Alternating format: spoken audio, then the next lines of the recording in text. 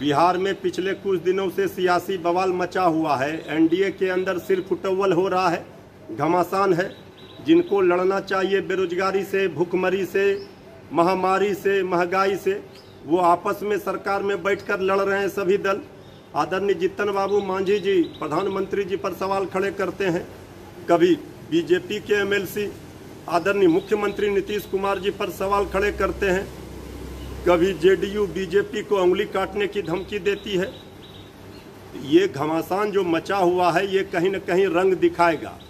जिस दिन आदरणीय लालू प्रसाद जी पटना आएँगे, उस दिन सियासी जो ये भूचाल आया हुआ है, उसका रंग देखने के लिए मिलेगा और बिहार की राजनीति करवट लेगी और सत्ता परिवर्तन होना तय है।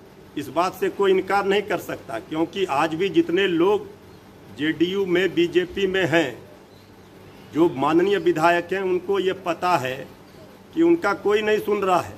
जनप्रतिनिधियों का कोई सम्मान नहीं है। आदरणीय लालू प्रसाद जी के विश्वविद्यालय से ही निकले कई छात्र बीजेपी में, जेडीयू में, बाकी जगहों पर हैं। सब लोगों को ये लगता है कि जनप्रतिनिधियों को वाजिब सम्मान आदरणीय लालू प्रसाद जी ही दिला सकते हैं। वंचितों, शोषितों, पीड़ितों की आवाज़ लालू प्रसाद जी ही बन सकते हैं। इसलिए सत्ता परिवर्तन की संभावनाओं से इनकार नहीं किया जा सकता। है